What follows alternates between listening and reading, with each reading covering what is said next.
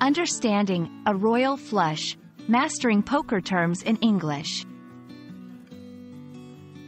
Hello everyone. Today, we're going to dive into the fascinating world of poker terminology, focusing on the phrase, a royal flush. Whether you're a poker enthusiast or just curious about English idioms, this video will give you a clear understanding of what a royal flush is and how it's used in both poker and everyday language. Poker, a popular card game, is full of unique terms and phrases. Understanding these terms not only helps in playing the game but also enriches your English vocabulary.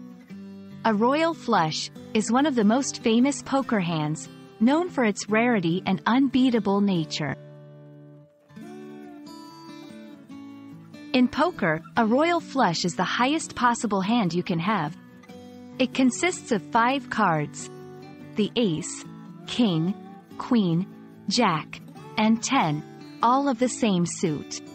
This hand is unbeatable in poker games and is often associated with luck and skill. It's a symbol of rare success and is often used metaphorically in English to describe an exceptionally good situation or a perfect set of circumstances. Apart from poker, a royal flush is used metaphorically in everyday English. It signifies achieving the best possible outcome in any situation. For instance, if someone says, landing that job was a royal flush for me, they mean they achieved an exceptionally good result, perhaps against the odds. The term has permeated popular culture, often appearing in movies, literature, and casual conversations. Its usage goes beyond poker tables, making it a part of common English idioms. Understanding such phrases enhances your grasp of the language, especially in informal contexts.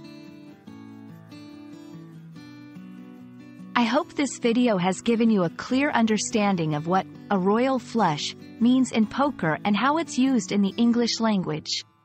Remember, language learning is not just about grammar and vocabulary, but also about understanding the cultural context of phrases. Keep practicing, and you'll be a pro at English idioms in no time. Thanks for watching, and see you in the next video.